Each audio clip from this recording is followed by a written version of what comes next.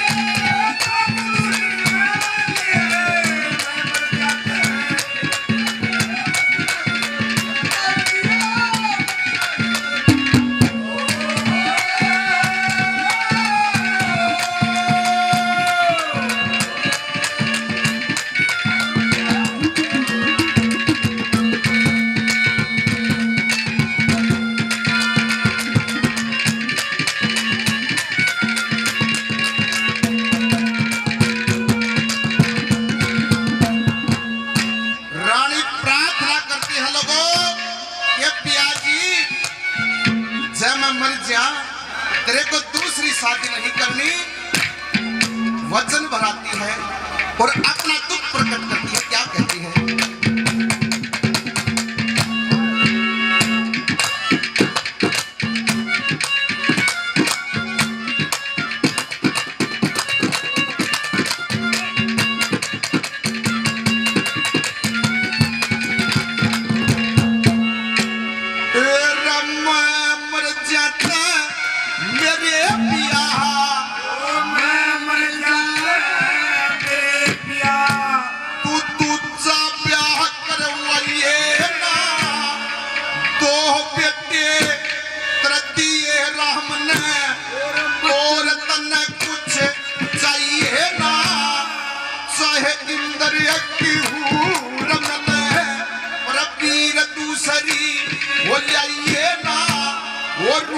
रूप